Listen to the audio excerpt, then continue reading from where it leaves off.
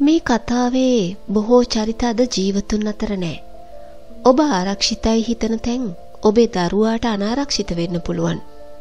අපි කතාවට යමු. අහවල් නැගතින් උපන් මේ පින්වත් කුමාරයාට රාජයෝගයක් පිහිටා ඇත.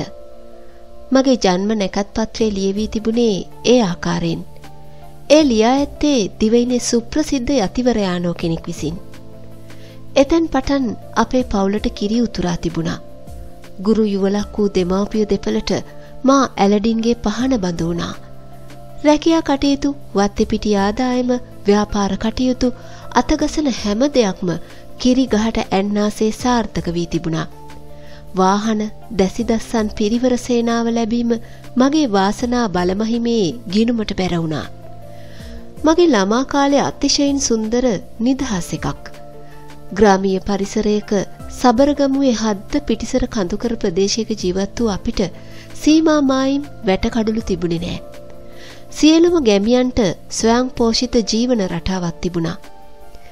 පාසල් ගොස් ගෙදර ඇවිත් වන වැදුනා.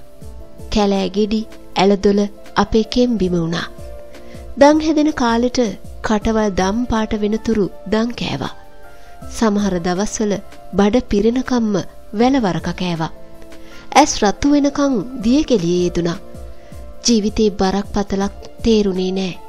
සෞම්‍ය දේශගුණය පිරිසිදු දියවුල්පත් දිය කදුරුවල සිටි ස්වභාවික මත්සයින් කුරුල්ලන් කුරුළුකූඩ වනවදුලු වලිකිකිලියන් බිත්තර දමන බෙන මේ හැම දෙයක්ම ස්වභාවික තක්ෂිලාවක් වුණා. සිතිජය දක්වා විද්‍යමාන වූ කඳුවලලු ඒ සොදුරු පාරාදීසයක නිම් වලලු වුණා. සීත සුළං නිල් කැටවන් දිය පහරවල් අප ස්වභාධර්මයට කැඳවාගෙන ගිය මං මාවත් වුණා. මගේ ජීවිතයට හෙනහුරා ලබන්නේ මට යන්තම් අවුරුදු 8ක කොළු ගැටයක් වන විටයි. එවිට මගේ මව ගැබිනියකව සිටියා. අපේ කැදැල්ලට එන හතරවෙනි සමාජිකයා මායි මලිලා දෙන්නටයි අමතරව. අප පවුල දරුණු ලෙස ආර්ථික අවපාතයක ගිලිමින් තිබුණා. ව්‍යාපාර වැටුණා. ඉඩකඩම්වල ආදායම් අඩු වුණා. දෙමාපියන්ගේ රැකියාවල ගැටලුකාරීකම් ආවා. වෑන් එකේ ෆිනෑන්ස් එක ගෙවීම පවා අතපසු වුණා. ගෙදර වැඩට හිටිය සේවකීන් ඉවත් කරන්න වුණා. ආර්ථික ප්‍රශ්න අධික නිසා මගේ ජන්ම පත්‍රයේ සැකසූ හාමුදුරු නම මුණ ගැහෙන්න දෙමාපියන් ගියා මතකයි. ඒ වෙලාවේ මා සිටියේ නින්දත් නොනින්දත් අතර. දෙමාපියන් අතර මා අරබයා ගැඹුරු සංවාදයක්. ඔවුන් සිතන්නේ මට නින්ද ගොස් කියලයි. වැඩිහිටියන්ට හොරෙන් ඇහුම්කන් දීම වරදක් වුණත් එය මාහට අතිශයින් වැදගත් නිසා එයට හොරෙන්ම සවන් දුන්නා. හාමුදුරුවෝ කිව්ව කොල්ල තුන්දෙනාට ලැබෙන්න ඉන්නේ කෙල්ලෙක්කින්ද තාත්තට මාරාන්තික අපල එනවා කියලා. අලුතෙන් එන කිරි කැටිය ගෙයින් පිට කරන්න බැහැනේ. ලොකු පුතා අම්මලගේ ගෙදර යවමු. අම්මයි තාත්තයි කතා වෙනවා. ඒ ජීවිතේ මට පළවෙනි වතාවට ලොකු දුකක් වේදනාවක් දැනුණු දවස. කොච්චර ඇස් තද කරගෙන හිටියත් මට නිින්ද ගියේ නෑ. ඒ මගේ ජීවිතේ දිගම සුන්දර දුම්රිය ගමන. පොල්ගහ වෙල සිට බණ්ඩාර වෙල දක්වා මගේ අලුත් නවාතැන වෙත. එය කොතරම් ස්වභාව සෞන්දර්යාත්මක ගමනක් වුණත් මට එය අබමල් රේණුවක් තරම්වත් දැනුනේ නෑ. හැම දෙයක්ම මට පෙනුනේ මහ මූසල විදියට.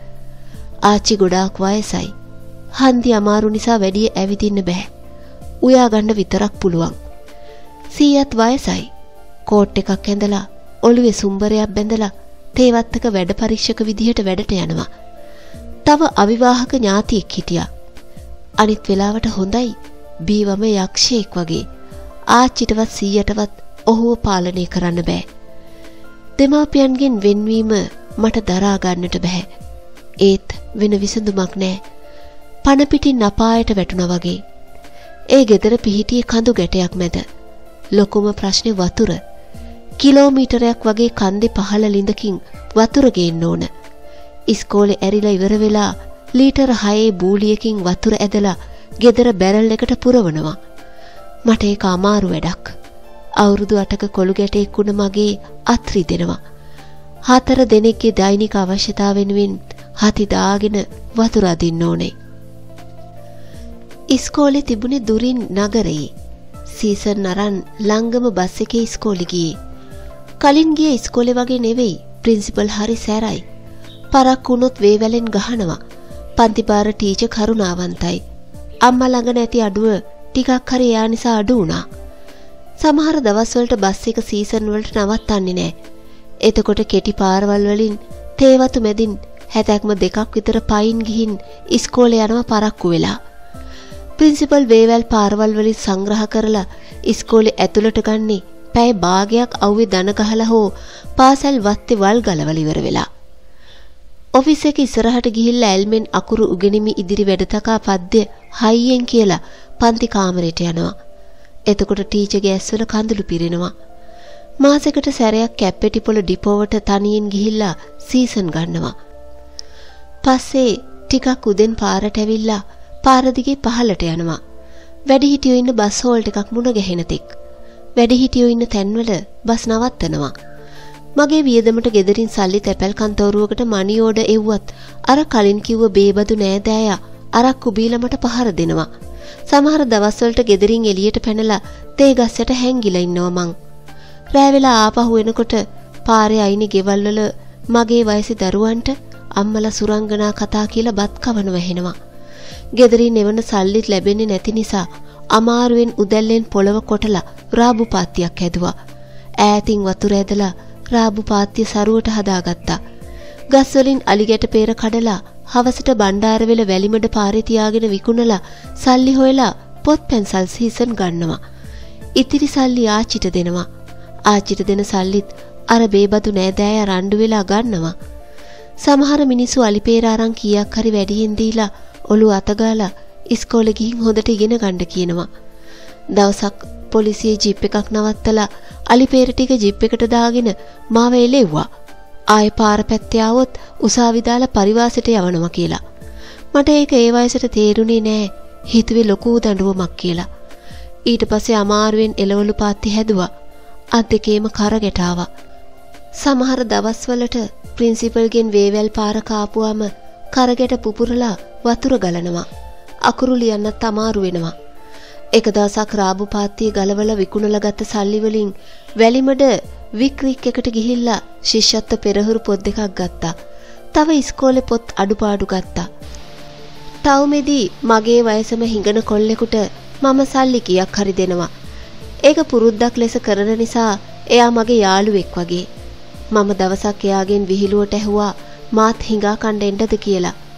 ඔහු කියපු දේවල් වලින් කවදාවත් එහෙම සිතුවිල්ලක්වත් ඇති කරගන්නේ නෑ කියලා මං හිතාගත්තා. ඔහුයි ඔහුගේ හිඟන මවයි මිනිසුන්ගෙන් දැඩි ලෙස අපචාරයට ලක්වෙන අයුරු ඔහු මට කීවා. ඇට්ලස් හෝල් පොත් දෙක අරගෙන මං ගෙදරාවේ රටක් රාජ්‍යයක් දිනුවා වගේ ඉතිරි සල්ලි ආච්චිට දුන්නා. හවස බේබදු නෑදෑය ගෙදරාවට පස්සේ ගෙදර එකම යුද්ධයයි. රාබු ගලවපු සල්ලි ඉල්ලලා මට පහර දුන්නා. ඒ වගෙන් පොත් ගත්තා කියලා ශිෂ්‍යත්ව පෙරහුරු පොත් දෙක පෙන්නුවා. ඔහු මගෙන් පොත් දෙක උදුරගෙන ලිපට දාලා පිච්චුවා. මට මගේ ජීවිතේම පිච්චිලා ගියා වගේ දැනුණා. ගුටි පූජාවෙන් බේරෙන්න කඳු ගැටේ උඩට නැගලා සැඟවුණා.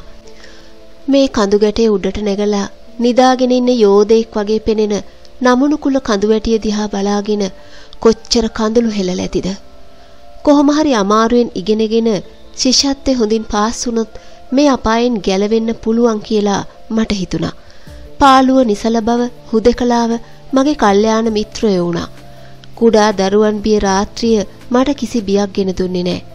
තේ පඳුරකට මුවා වී විදුලි කණුවක එළියෙන් අසීරුවෙන් වනපොත් කර ශිෂ්‍යත්වයේ ජයගත්තා. ඒ සමගම මට නැවත සබරගමුවට පියාසර කරන්න තටු ලැබුණා. ඉන්පසුව ගම් ප්‍රදේශයට ආසන්න ජනප්‍රිය පාසලක බෝඩින් ජීවිතය උරුම වුණා. අනෙක් අය සතියන්ත දින නිවාඩු කාලේ ගෙදර යද්දී මං බෝඩිමට හිර වුණා. කලාතුරකින් ගෙදර ගියත් එදාට තාත්තා වෙනම අපේ කඩේ නිදාගත්තේ. අපි හය දෙනා එකට වාඩි වෙලා ආහාරගෙන නැහැ. ඒ තරමටම කොල්ල තුන් දෙනයි කෙල්ලයි තාත්තට මරණය කියන සිතුවිල්ල අපේ හිත් තුල හොල්මන් කළා. 1989 ජූනි 26 පවුලක් විදිහට අපි සියලු දෙනාම එක් වූ දවස. එදා අපි ගොඩාක් සතුටු වුණා. දින ගණනක් තිබූ වැස්ස එදා දරුණු වුණා. ගම් වතුර බලා විනෝද වුණා. හවස් වෙනකොට විශාල කන්දක් කඩාගෙන ඇවිත් අපේ ගෙවල් සියලු සේ සතම යට වුණා. දරුණු තුවාල ලබා පියා නොමැරී බේරුණා. ආයේ අපිට වෙන්න දෙයක් නැහැ. එතෙන් පටන් අපි සියලු දෙනාම එක වහලක් යට ජීවත් වුණා. මිනිසුන්ගේ කතා, දෛවඥයන්ගේ කතා අදාළම නැහැ. දෙයක් වෙන්න තියෙනවා නම් ඒක වළක්වන්නත් බෑ. ඒවා කලින් දැනගෙන මෙරි මෙරි ජීවත් වෙනවට වඩා ඕවා නොබලන එකමයි හොඳම විකල්පය.